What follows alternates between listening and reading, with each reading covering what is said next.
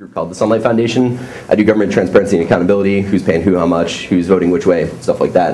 Um, been doing Ubuntu stuff for a while, Debian stuff for some like little little while, 2009. Um, I'm on the FTP team um, and like whatever else. Uh, I'm sure I got other stuff that I'm doing, but that's not really as important. Um, oh, great, uh, link not found. Um, cool. Uh, so that is a giant, beautiful picture of the Sunlight logo. Um, and yeah, so if anyone's, this is just like the generic intro to any of my slides, so I apologize. But if anyone's interested in Sunlight, uh, feel free to talk to me. Um, I will gladly tell you all about how awesome Sunlight is and how um, much fun I have working there. Um, right, so Docker. Um, what is Docker? This is sort of like the existential question. Um, no one quite knows, right? Like everyone is using Docker for all these different things, and it's kind of super confusing, and that's really disappointing. Um, basically, Docker is a process level isolation framework. That's all it is. Um, it uses the Linux kernel namespacing to isolate a process, um, a single process, um, and tracks the processes inside the container using cgroups. also, I forgot to mention this because I dove right in this talk is going to be on the short side because uh, I'm hoping that we're going to have a bit of discussion about Docker's role in Debian and in what ways us as the Docker maintenance team can help Debian and in what ways this sort of can flow back and forth. Also, I do not work at Docker. I'm just a Debian hacker. Um, I do this for fun, so I will cover some of the cons that maybe people don't talk about as much. Um, um, and yeah, cool. Right, so Docker provides a whole bunch of tools used to manage and like wrap these processes. Um, so for instance, Docker run, which lets you run code inside a container. Um, and remember, it's for a single process. It's not a virtual machine. Um, you just spawn it up and it wraps a process and keeps it semi-isolated so that it runs properly. Um, or stuff to pull images if you have images in a central location on the index. Um, so uh, if you Docker pull paultag slash um, Postgres, then you get my particular Postgres flavor. Um, Docker is higher level than LXC, um, but lower level than something like Ansible, Vagrant, or Fabric. So Docker sort of provides these primitives to work on the system, um, these things to allow you to um, run processes in kind of a sane and normal way. Um, but it's not there to solve all the configuration management problems, and um, there's definitely configuration management to do once um, a Docker install is on your system. Um, so one technique that I have is all my containers are read-only, and then any data that changes in the container. So for instance, Postgres, you have varlib Postgres. Um, that's volume mounted, which is sort of like a bind mount out of the container. Um, and that's on the host system in slash serve. Um, and then I can just snapshot that and keep that um, backed up. Um, and I can, I often use Ansible to provision the stuff that's in slash serve. so I won't provision anything inside the container because it's only running a single process. You can't SSH in there. Um, but using something like Ansible, um, Vagrant, or Fabric, you can coordinate a whole bunch of Docker containers to do some stuff that's pretty powerful. Um, originally, Docker wrapped LXC just to kind of give you a place of where it is in the stack, um, but that ended up getting re-implemented um, just sort of in raw go. Um, so it no longer uses the LXC backend by default. I think you might be able to, can you still turn that on? Or you can, but yeah, don't do it. Um, yeah, probably going to end up breaking stuff in kind of nasty way. There were like a whole bunch of um, incompatibilities after a couple of versions. So, um, so yeah, basically Docker is sort of slightly above LXC, um, but uh, not quite at the level of Vagrant or anything like that. Uh, Docker is currently in Jessie, yeah. Um, Docker 1.0, which upstream assured me was stable, um, but they've never released security or patch fixes. So um, I'm probably we're probably going to upload 0.20 pretty soon because there was a bug with Golang 1.3 that affected us until then. Um, so that's I'm waiting on a package in the new queue, ironically. Um, so right. uh, so yeah, it's embarrassing. What Docker is not. Docker is not a virtual machine, um, and I cannot beat this point home enough. Um, it should be a single process. If you start stressing that, weird stuff's going to start to happen, and you're going to be in for kind of a bad time. Some people use supervisord or um, whatever else to manage a whole bunch of different stuff. And if you're careful, that's fine. If you know what you're doing, fine. But like in general, if you're just trying to Dockerize something, um, a single process per container. So I have like a Postgres container and then a web app container, and then they're linked so that they can talk to each other. Um, so that's usually the architecture of um, sort of standard by the book deployments. Um, it's not a process for the entire application. So it's not like I Docker run, um, like, I don't know, what, what do people run these days? Like Etherpad, whatever. Uh, that might be kind of outdated. Uh, yeah, that was the question. Uh, was this, you mean a single process or like? I mean, yeah, all right, so the question was single process, question mark? Uh, and the answer is yes, a single like PID. Um, uh, I'm, I'm sorry, no, that's actually wrong. It, the Docker instance should be starting a single PID, but that can spawn other things perfectly fine. Um, if, like, for instance, you have USG, um, and that has a whole bunch of workers, spawning up a whole bunch of workers, totally reasonable um, if that's how it operates, but uh, not for something like Etherpad, and you're having it like database and the application in the same container. Um, sort of like logically the same stuff. Um, right? Uh, and Docker is not perfect isolation from the host. Um, the goal is to isolate processes um, and not prevent exploits. Um, and the Docker group is root equivalent. Um, so if you have, if you're part of the Docker group and you can launch Docker containers, it is trivial to get root on the host. Um, because you can just start a new container with the root of the file system mounted inside the container, which you can chroot into, and then be root. Um, so don't think of this as uh, like one size fits all security system. This is just providing basic um, sort of uh, basic wrapping around the process to make sure it's running in an environment that you can kind of hold down for a minute. Um, basically, this lets my unstable server run Postgres from stable, and the web apps that I'm really tightly controlling, because they're all running on Python 3.4, are in unstable containers. Um, so I can have different things for different daemons, which is kind of neat. Um, so why? Uh, which is kind of a bigger question. Like, why are we wasting all of our time with wrapping all this stuff in Docker containers? Um, and that's a good question. Um, basically, it lets you abstract the idea of a process and really not care about the host environment too much. Um, so when I test something locally on my local machine and I deploy it to, the, um, to one of my VPSs, uh, I can be pretty sure that that process is going to run in roughly the same way. Obviously, there might be differences in the kernel. Um, if there are differences in the kernel, like, okay, like, fine, yeah, that's going to have some problems. But uh, basically, it lets you contain and abstract these processes, um, and it lets me sort of trivially move stuff between servers or test it on my local machine, um, sort of reproduce the environment um, with a very lightweight, lightweight um, environment. Uh, contrasted to something like a virtual machine where you have the entire overhead of the entire operating system and you're actually sort of um, you're virtualizing the entire OS and all of the daemons included with that. And that's not entirely necessary in a lot of situations. Um, so yeah, essentially, it doesn't matter what, that's a typo. Um, uh, yeah, container. Um, so I definitely wrote these kind of late, so I apologize. Uh, um, so essentially, this means I can deploy my stuff on whatever host I'm given um, because I'm cheap and I really don't like paying for servers. So if someone decides they want to give me access to a Fedora host, I can host my stuff uh, inside stable containers.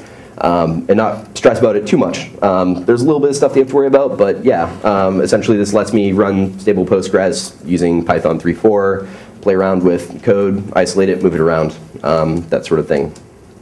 The comparison that Upstream makes a lot is um, where the name sort of comes from, uh, is the like ISO containers that you see on the um, trucks like constantly, like the big metal things are super cool. Like hipsters are living in them now. Um, and and basically they like you can just put stuff in them, right? Just like pack it full of whatever, like seal it up. Like doesn't matter if you put it into a boat or like on a truck, and it's just like going somewhere. You don't really care. Um, and so the sort of comparison here is like these are just the ISO containers of the future um, with like processes and computers. And um, so the um, Docker itself is sort of like right, it's like big Docker shit full of ISO containers. Um, so you can basically create hosts that host all of your code um, without really caring what's inside because they're all sort of look the same to you right? They all have the same Docker run interface. They all have the same Docker pull interface. And then inside the container, you can just be concerned about how you pack it, but the host doesn't care. Um, and that ends up being pretty important. Um, and for super complex and like hard to set up software, um, you can basically, this can help remove a lot of complexity in the actual initial setup. Because um, sometimes setting up processes like these can be extremely difficult, as I'm sure everyone here knows. Um, and so if you have like this weird historic way of setting up this application, it requires some weird configuration files, but they're mostly kind of standard, um, then you can just make sure that's all in place. Um, and in fact, at work, I've Dockerized a whole bunch of scrapers. Um, so a large part of my day job is scraping terrible government websites that have like three or four body tags. Um, I'm not joking. I, that's not. I mean, we're all laughing, but like, this is my life. Um, um, and the like sites are all like complicated and like one of them times out every five minutes so like even if you're a human browsing it, it like kicks you back to the main page and like uh, it's terrible and so like a lot of the scrape infrastructure is kind of gnarly um, and setting up the actual scrapers uh, can be a bit of a pain um, and making sure that those scrapers run the same way in development and production is like super handy. And while it's easy for me to get them going because I like wrote a huge chunk of the code, um, it's not as accessible for other people. Um, and so one of the things I did recently is um, all of the scrape infrastructure. I'm currently working on um, a daemon that will run the scrapers inside Docker containers. Um, and so essentially I've packaged up the, the particular scrapers that I have. So I have state, scrapers, which are like state legislative scrapers. Um, and then so nightly, it'll like Docker run tag slash um, scrapers US state um, Alabama. Um, and they'll go off to Alabama, scrape all the data down, and insert into Postgres. Um, this lets us build continuously from Git. Um, so as soon as I push, it'll rebuild the image, and then that image will be used in the actual run later on in the day. So it doesn't require mucking around with like, I don't know if anyone's used Bamboo, which is like some non-free Atlassian stuff um, which is what we're using, which I guess we're still using. Um, but essentially, it makes you rebuild an AMI, one of the Amazon images, every time you update the environment, which is horrendous. And it has a 30-minute, like, you feel like Indiana Jones. It's like got this wall that's coming down, and after the 30 minutes, it shuts the machine down because it thinks it's idle. And so you have to like make the change in 30 minutes. You're like trying to get right under, and then it like shuts down. You're like, ah, God. So you like, got to do it again. Um, before that, we used Jenkins, which was good enough, but kind of a pain too. Um, and it's just everything's running in the same environment. It can be a bit of a pain. Um, and so by Dockerizing all this, essentially I can give anyone um, like this scraper, and if they're interested in having the data, they can just Docker run this command, and everything just kind of works. It's like OpenGov in a box, um, which is pretty awesome. Um, and so I've, I've, been working on trying to Dockerize more and more of the um, periodic jobs that get run. And so far, it's pretty thrilling. Um, and the results are really, really promising. And I hope that we're going to continue to um, develop Docker to the point where that becomes uh, a better use case, because um, I think it's a really good one. Um, now for the fun part, my opinions. Um, right, so Docker uh, is uh, Docker can let you get away with murder. You can do some pretty gnarly stuff, and people do some pretty gnarly stuff. So I'm just going to brain dump a couple of the things that I care about. Um, for instance, uh, I only run my Docker containers off systemd unit files. I actually do use Upstart on a couple of machines. Um, essentially, they look like this. Here's the spec file um, for one of them. So basically, um, the spec file declares that um, this is for my Nginx config. And so right there, we got um, docker start Nginx if it already exists. Otherwise, it has the setup of the actual Docker container. So it says mount that into serve, play around with um, serve tag nginx serve. Um, with the image, which is tag nginx, and the binary that it's running, user sbin nginx, with a couple of flags. Um, the stop command is docker stop t5, which means terminate after five seconds, nginx. Um, that's kind of a lot, it's kind of ugly, I understand that, but that's okay. Um, this basically lets Docker be treated, or the Nginx in Docker be treated like any other system level process.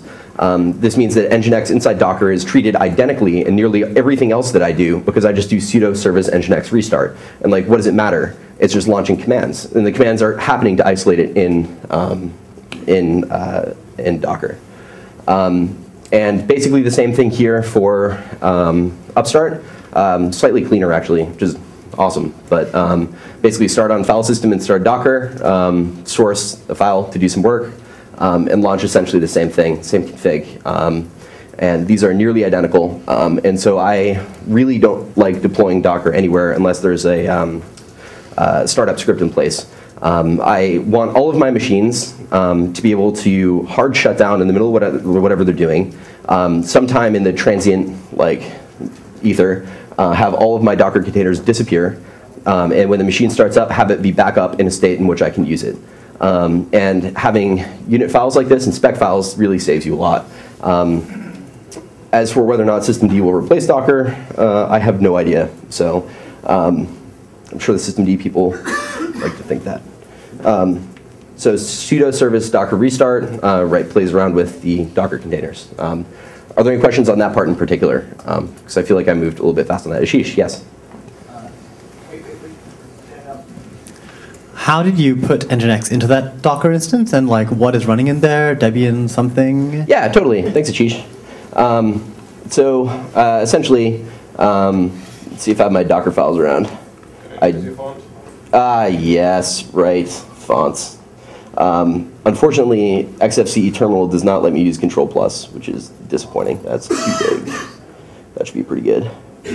Okay, this is gigantic, but we should be able to do something. Uh, that's a little bit too big. Um, COC, come on, man, COC. Uh, this is uh, a little bit better. I'm just gonna go a little bit smaller. Sorry. All right, this will do. Um, so essentially, uh, what you do is you declare from what base image you start from. This can be any arbitrary image. So I'm saying from the Debian unstable image. Um, the Debian unstable image is maintained here by Tianon upstream. Um, it's roughly similar to what you get from a debootstrap. There are some differences. The differences are documented in the creation script that's also shipped with Docker itself, if you want to create them yourselves. Um, the actual modifications, um, we've talked about moving them into a deb before, um, but nothing really came of that yet. If anyone's interested in making sure that the differences in the Debian um, Docker image are better documented, um, I'm sure the Docker upstream, Tianon in particular, and myself would love to talk to you about how to make that possible. Um, thumbs up, so I haven't said anything entirely wrong. Um, great. Um, so I'm saying from the Debian unstable image. Um, the first part is the name of the image. The second part is a tag. They're very similar to how Git tags work, except you're encouraged to change them often. Um, so tags, tags essentially point to a given layer, um, and uh, you essentially can use them for nearly whatever you want. Maintainer, uh, useless bit of metadata, not really important here. Uh, run means when you're creating this image, uh, run the following command, which is apt-get update and an apt-get install, yes, nginx, um, which will actually install nginx into the container. Um, or into the uh, yeah into the container that we're currently building in, um, and then I RMRF all of the Nginx site stuff um, because that gets volume mounted in um, from my file system, so that when I configure a new app, I just drop a file in the host slash serve slash docker slash um, Nginx, uh, and then I just kick the container, and then it sees it um, in its etc um, Nginx sites enabled. Um, and then the command, which is the default command that's run if no arguments are given. There's also entry point. Entry point is sort of like run, except a little bit harder, and it's always put before run. Confusing these two can get confusing. Um, um, so essentially, uh, the, it's sort of this declarative style, um, sort of declarative style, um, and it uh, it's powerful enough to basically do what you want. Um, you can actually do this stuff manually in a container and then tag the resulting container, um, but it's generally uh, good practice to use um, Docker files so that um, you can create what are known as uh, automated builds. They used to be called trusted builds, but that name was terrible. Um, and the automated builds are basically builds that are being done on the Docker index um, routinely. So just a quick question for those who haven't played around with Docker yet. Mm -hmm. So that means if your machine does it mean if your machine crashes and you boot it up again and um, it'll detect, okay, I need to build this image, so you suddenly get a new version of packages from Unstable and all hell breaks loose, or is it fixed at some point? Sure. Somehow? Yeah. Um, yeah, so uh, there, there's two different concepts here that I think I've failed to clearly delineate. Um, essentially, there's a concept of an image and there's a concept of a container. Um, a container uh, is an instance of an image. So a container is always started from an image. Um, so this declarative style of building things is building an image. Um, so the resulting image here is called paultag slash nginx. Um, when I run this with the docker run paultag nginx, it's assigned sort of a pseudo-random name built on words. Um, so like, I don't know, like feisty Turing or like angry Stallman. Um, Stallman was added recently, it's amazing. Um, and so the actual individual containers are given these sort of opaque names. Um, and so you, you start an image and you're given a container that's sort of from that image. So if my machine was to shut down and everything was to start up again, they would still be using the same version, uh, or they would still be using the same image unless I rebuilt it in the meantime, in which case that's probably expected behavior. So yeah. Any other questions about the stuff so far? I'll uh, just fill the lag time with me singing or something. Ah, wait, there we go. Uh, so how do you deal with security updates? Yes, security updates. That's great. Um, so essentially, best practice here is to continuously rebuild your images. Um, and uh, the Docker index has support for this. You can give it a Git repo. It'll watch it for changes, post commit hooks. Um, when you change something, it'll rebuild the image and put it up on the index, um, at which point you should pull it and kick your containers. Um, if you don't use something like that and you're building it locally, um, you can have something on a cron that rebuilds the images and kicks the containers that are currently active. Um, so the idea is by using something declarative like this, um, then every time that Debian unstable image updates, it's going to have the latest security fixes. So that when we rerun this and retag the image locally, then we're going to get the security updates as well. Essentially, containers should be, in my opinion, always read-only ephemeral. Um, and so you shouldn't be making any changes inside the container. If you're writing anything, that should be host mount, that should be mounted onto the host. Um, so that at any point I can just trash all the containers, start them up again, and then they have the latest version with minor interruptions. Um, and um, which is, I mean, similar enough. It's sort of the difference between immutable versus mutable. You can think of virtual machines as sort of mutable, right? You can update them, you can change their state. With Docker containers, really, they should be sort of immutable. When you replace them, they should be an atomic replace. Um, so Lisp versus Python, who's ready? uh, any questions about this so far? Okay, cool. Well, I'm going to continue talking. Um, basically, the only reason I gave this talk is to use the Unicode heart to see if any of the software would crash.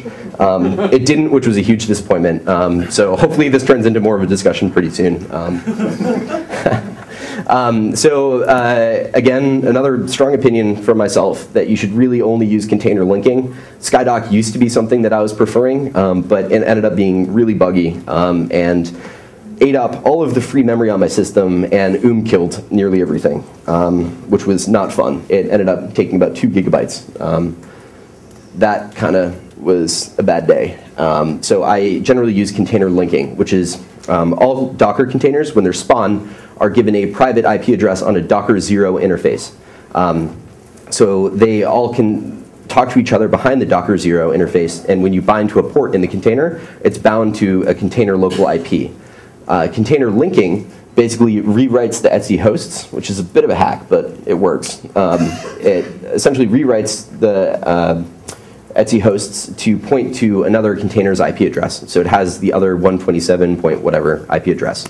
Um, and this lets two containers talk to each other. So my Postgres container is up, but it's not bound to my public IP, it's bound to its container IP. And then other containers will talk to it by using container linking. Um, so it'll mean that my web apps know about Postgres, so you can connect to Postgres colon slash slash Postgres at Postgres colon Postgres Postgres Postgres. Um, um, the Docker API. Um, ah, I have so many things to say about it.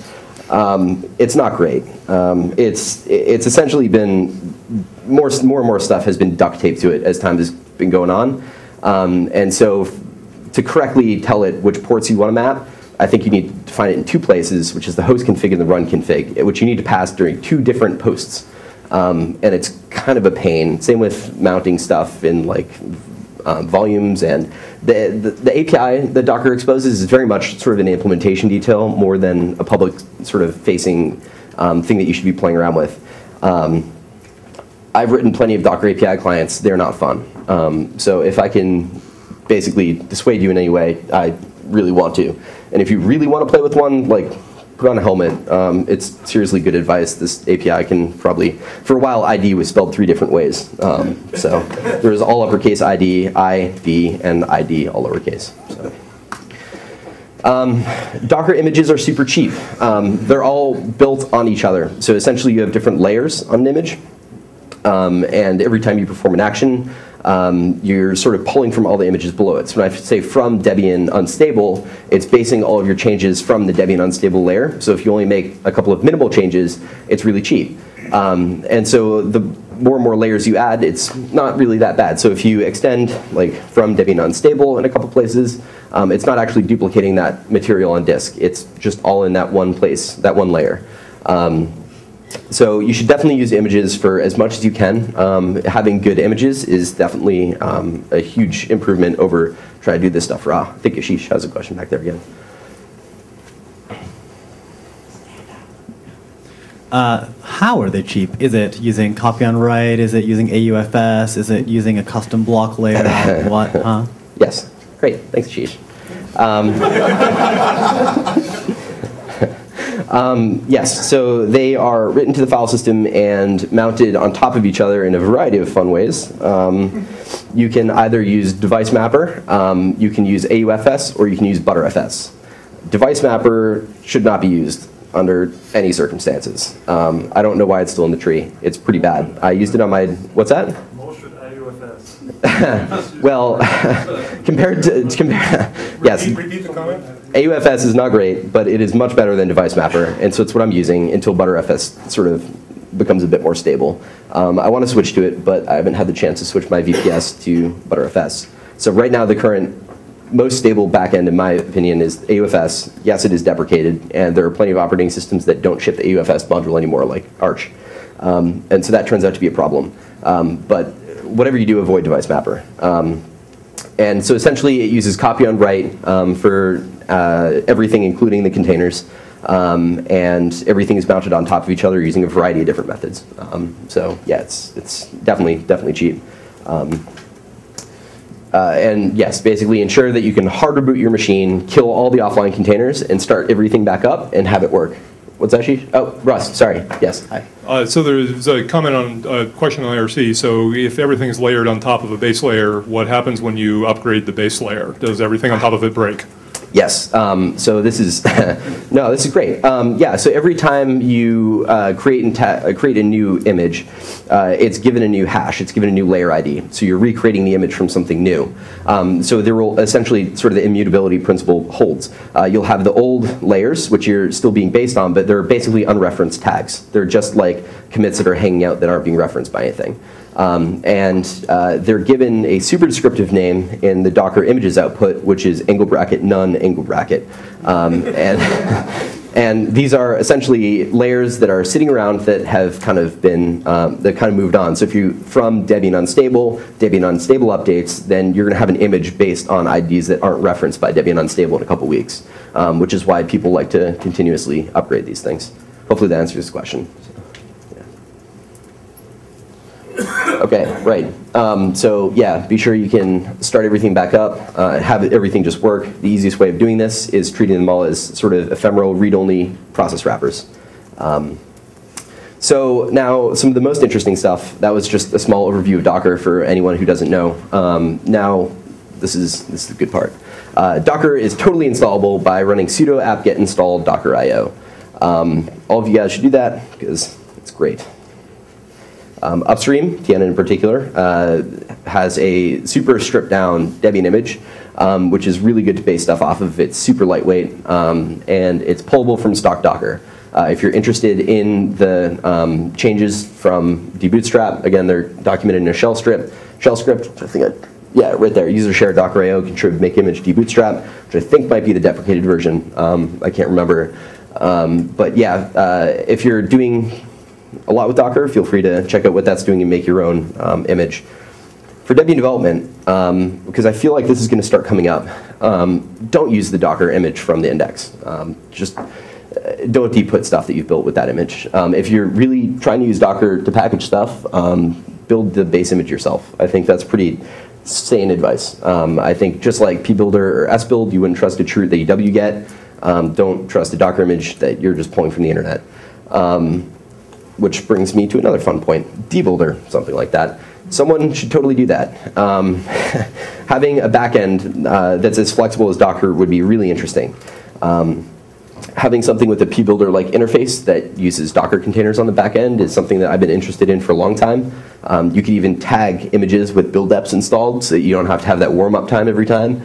Um, and all sorts of crazy stuff. Um, if anyone's interested in doing that, I'd love to talk with you about how to do that. Uh, essentially, I want to turn this BoF into what can Docker do with Debian, what can Debian do with Docker, um, because that's sort of what I'm interested in. I see a lot of potential, and I'm hoping other people do too. Um, and a quick overview of some future plans before we start a bit more discussion. Nightly builds, um, check-ish. Uh, we have nightly builds going to PPAs. Um, I need to set up a Debian cluster um, to get nightly builds for Debian. Um, these are mostly useful for myself and other people interested in testing nightlies and making sure packaging like works continuously. Um, that's something I've been interested in. Um, something that's mostly kind of working. Um, props to Tianon. Um, backports, um, we have a lot of stuff backported in a PPA. We need to upload that to Debian pretty soon, but it involves backporting Go, which means that we need to commit to maintaining Go in stable. So as you can probably guess, I'm not super on top of that. Uh, I would love to see more Debian people push for content-based IDs of layers. So those layers I was talking about aren't actually um, given IDs based on the content of the layer. Um, they're just IDs. Uh, if we had content-based IDs, um, then we could do better stuff like verifying the integrity of an image or signing of images, um, which would be really cool so that we could GPG sign an image and then assert that it is the image that we have or set up a Docker daemon somewhere that only runs images that are PGP signed, um, which would be awesome. Um, and uh, right, and basically limit the stuff to only stuff I've signed. Um, potentially trusted Debian image somehow. I'm not sure what that would look like, how, what the like logistics of that would look like. Um, for now, I think just sort of decentralizing this and pushing it to all the people probably makes sense. Um, Docker 1.2.0 has been released this week, um, and I plan to upload it into uh, Unstable as soon as um, Markdown to man is through new. Um, so that should be really soon now. Um, okay, right. So, who's ready to flame? Um, yes, Brian. I've kind of been following Docker.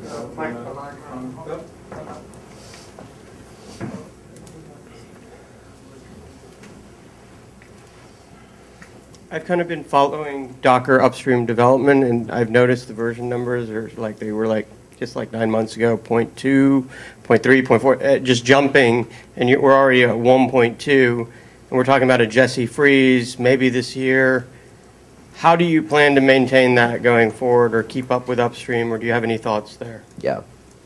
Um, yeah, I don't think there's a good answer for that. Um, the uh, the 1.0 release was supposed to be something a little bit more stable and more maintained. Um, it's not turned out that way. 1.2 is much more stable and much better supported than 1.1 right now.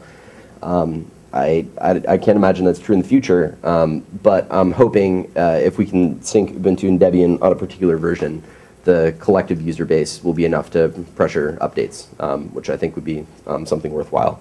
Um, the Docker upstream is super friendly, and they're all really awesome. I love them all dearly. Um, I, I poke fun at them plenty, and I've definitely poked at fun at them at this talk, and I'm sure I'm going to hear about it. But um, uh, they're definitely amazing, and they definitely want good things for the world. Um, so I think if there was definitely a use case in which this made sense, and I think a stable release of Debian and a couple of versions of Ubuntu maybe, um, then I think we could probably pull off some support.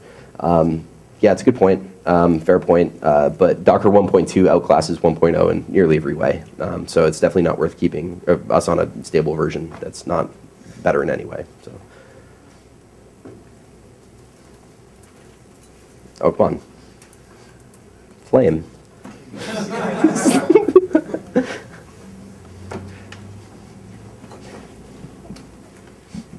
Uh, so you said it's not suitable to um, prevent exploits. Is it basically the design of Docker as in the tool, or is it rather the underlying um, interfaces provided by the kernel that are not sufficient to run, let's say, student submissions when assessing um, student work?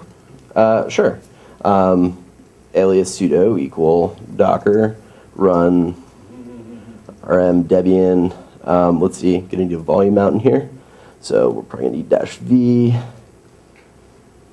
to, sorry, I'm trying to live exploit uh, Docker in front of you. chroot mnt. Well, I- I guess I was, I guess I wasn't quite clear. Um, if something is running inside a Docker, a container. Oh, I'm inside Docker, how but now I'm root on the host, so. Yeah, but but you did you screwed up by calling Docker. Right. So if I'm calling Docker in a sensible way, Uh, how is it easy to? Like, is it reasonable Oh, to I run see, I see. untrusted code inside a well-prepared Docker container? Oh, I see. Yeah, if you change the user off root in the Docker container, there's much less of an attack surface. And yes, if you're not a user with permissions, it's a lot harder to do this. Um, it definitely provides some level of isolation. It's just the kernel namespacing stuff I don't think was meant to provide bulletproof security. It was meant to provide rough security. And I think it definitely does that pretty well. And if you keep users as non-root, it's pretty trivial to um, um, to exploit this. Um, so yeah, you're right. Um, this this particular exploit is because I can run Docker, and the Docker group is root equivalent. Um, but yeah, um, you should be fine. Just a quick comment on that. If you are running developers code on production systems, you probably want to use SE Linux in combination with Docker.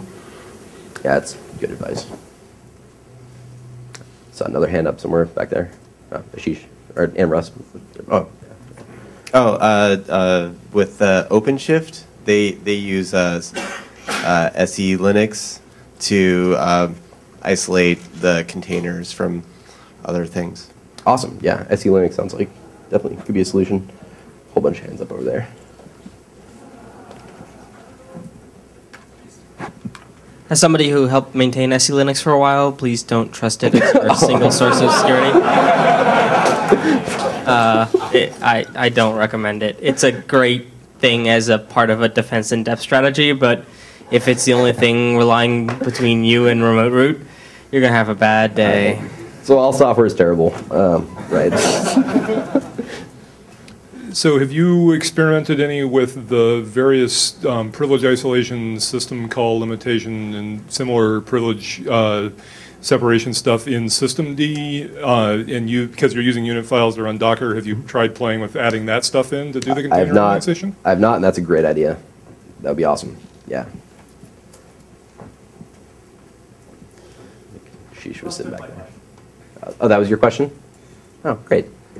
All right. Who else has got ideas on how to break Debian with Docker?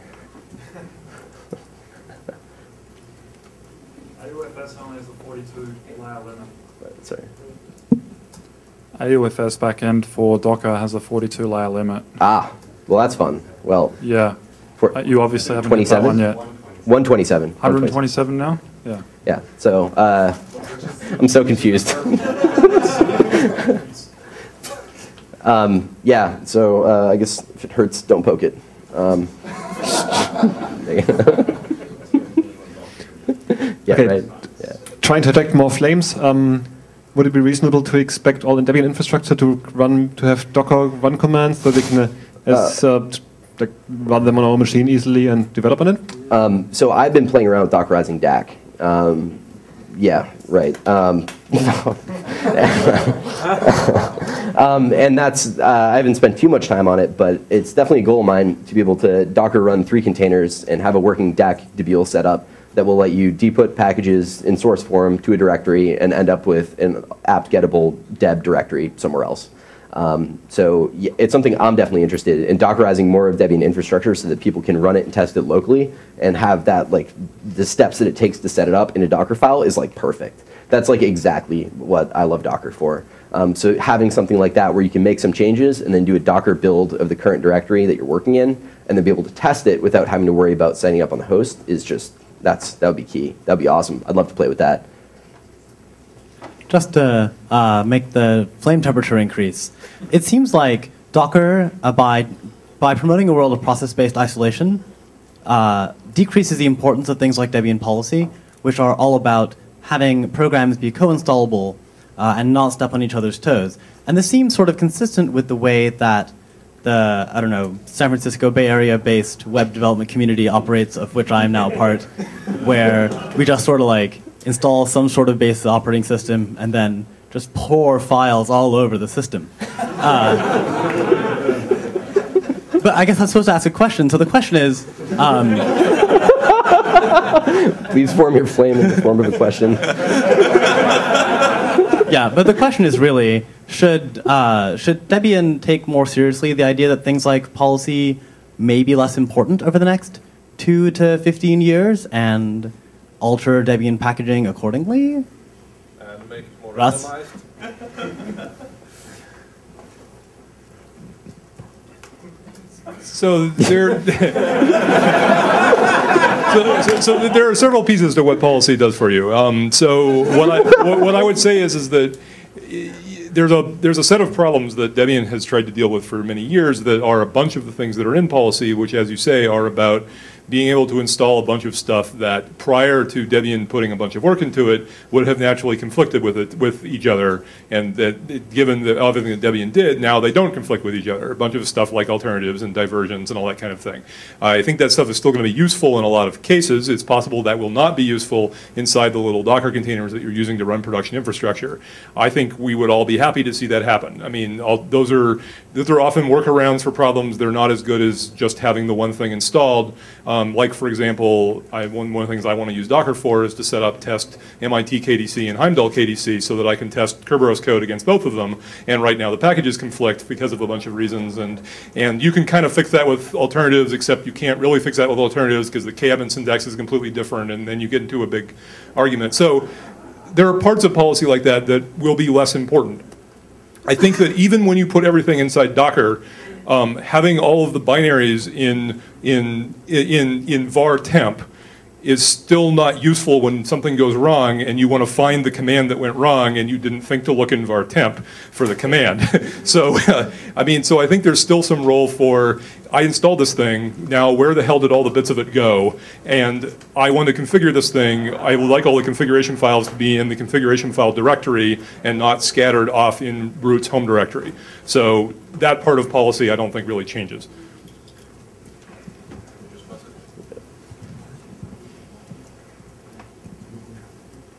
So uh, what Paul gave us uh, was a bunch of recommendations on top of what Docker documentation, if you can call it that, uh, describes. Uh, isn't that something that would be useful as part of uh, Debian Docker policy, as in how do you do, how do you Dockerize applications for Debian? And in that case, what you can have is you can still have alternatives and diversions and everything else that actually allows you to have uh, packages coexist inside that Debian unstable base image. And you still need that to build your base images or any images for Docker. But you could have some sane uh, recommendations on how to lay things out with Docker as well on top of that. Yeah. Um, yeah, interesting. I, I hadn't really thought about that too much.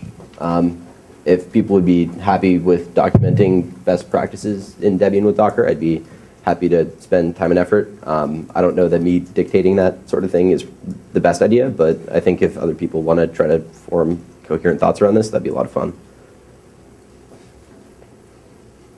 Oh, come on, you got more than that. Within the next 20 minutes, can we Dockerize subsurface?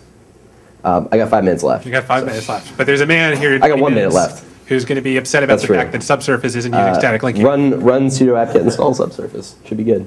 Okay. You know, we solve all of our static linking problems that way. Uh, um, a last comment? Yeah, sure. Yeah, uh, you said uh, that you were using, you were uh, Docker was using AUFS. Yes. Do you had some problems with stability of AUFS itself? Uh, I have not. Um, most of my problems have been using non-AUFS backends. Um, and in a matter of fact, I can't even get AUFS to run on Linode because the kernel is built without AUFS on it. Um, so I actually have a blog post where I load from Xen Grub to Grub 0.9 to Grub 2.0 to the Debian kernel because the old Grub Xen doesn't support XZ compression, um, which is great. Um, yeah, it is. So if anyone wants to get AUFS working on Linode, there's a post somewhere. So, um, all right, I think I'm out of time, uh, but we can keep talking about Docker stuff. Cool.